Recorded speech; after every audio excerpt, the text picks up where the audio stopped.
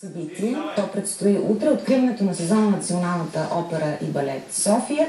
Както и за целия сезон ще говорим сега. Ами вълнуващо е. Вълнуващо е не само когато български оперни големи имена завладяват световните сцени, но и когато тук гостуват големи имена от чужбина в България.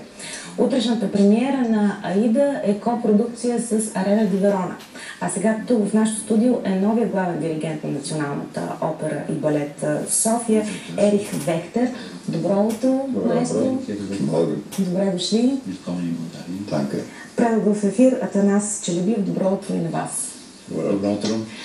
Мотивите да приемете този пост, Мотивите. главен диригент на Националната опера и балет София. Das ist eine sehr schwierige Frage. Това е труден въпрос. Ähm, es ist eigentlich durch einen großen Zufall passiert. Всъщност голяма случайност беше.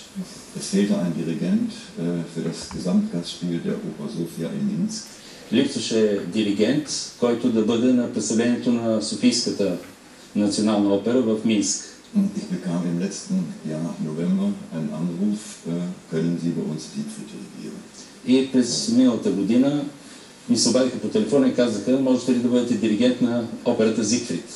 Es kam heraus, dass ich an dem Tag, wo der Siegfried äh, läuft in Minsk, frei hatte, aber ich hatte drei Tage vorher eine Neuproduktion von Wagners Parsifal.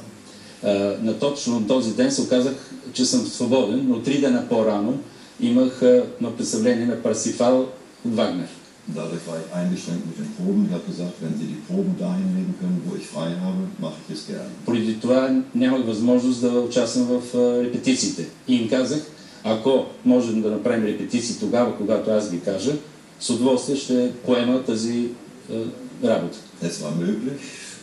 Das Theater hier oder die Oper hat die Möglichkeit geschafft, dass ich an meinen freien Tagen arbeiten konnte. Und es war, ein- ich sag mal, es war vielleicht ein Wunder.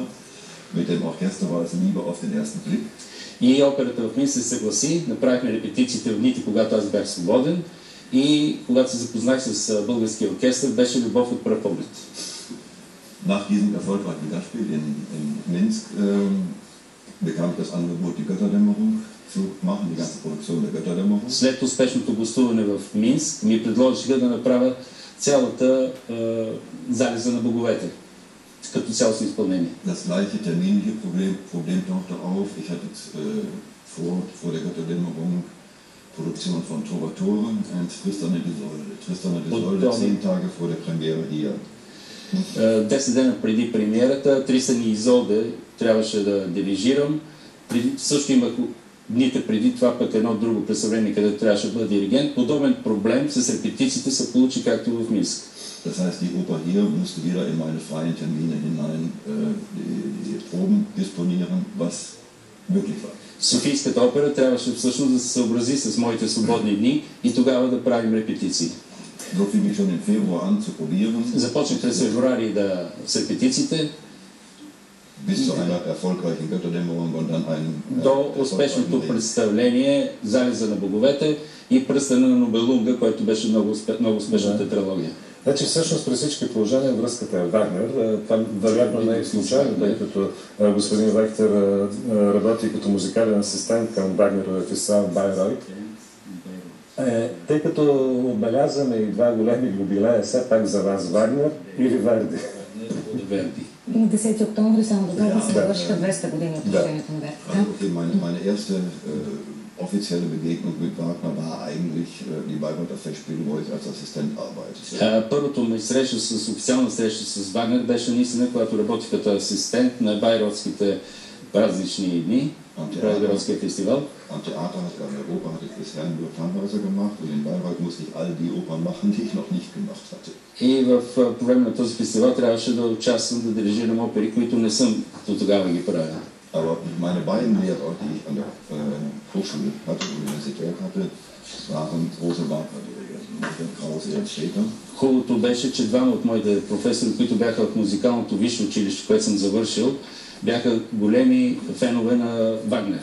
Richard Kraus war noch Assistent von Richard Strauss persönlich. Рихард Краус е единият, който беше лично, личен асистент на Рихард Штраус. Und auch von Toscanini, als Toscanini Tannhäuser in Bayreuth machte.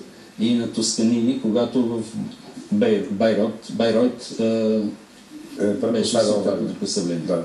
Сега се насочваме към предстоящата премиера на операта Аида. Ще видим интервю с режисьора на постановката Уго де Ана.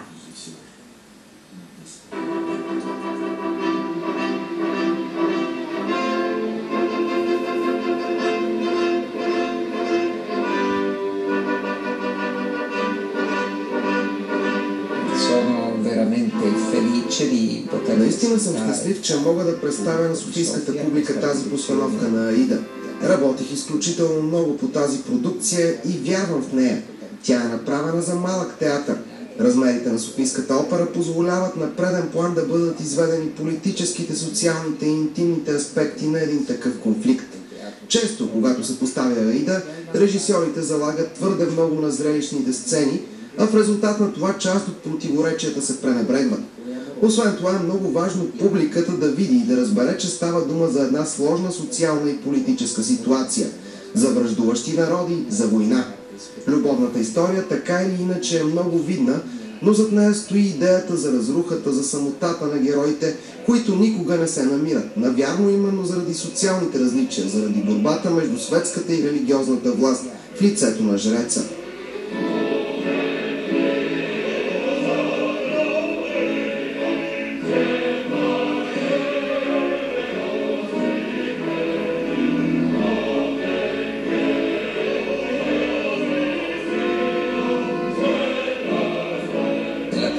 Първият път, когато режисирах оперен спектакъл, поставях Трубадур в Рио де Жанейро, а в ролята на Елеонора беше Гена Димитрова, певица, с която съм работил дълго и която обичах не само като оперен глас, но и като човек. През последните години имах удоволствието да работя и с не малко други български певци, които или градят значима кариера в момента, или вече са повече от утвърдени имена. Мога да кажа, че българската певческа школа е направила ужасно много и ще продължава да създава чудесни певци, особено за италианска опера.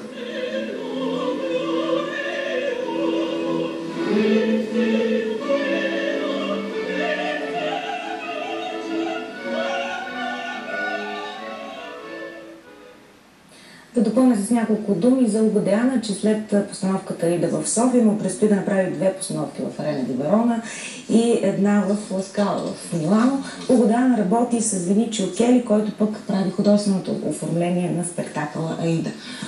Толкова Да. биографични справки. Да, а, между другото, господин ректор, сега връщам се отново към вас.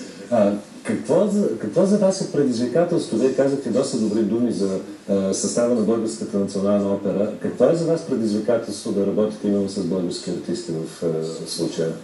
След вашия изключително голям опит а, в Германия с различни състави.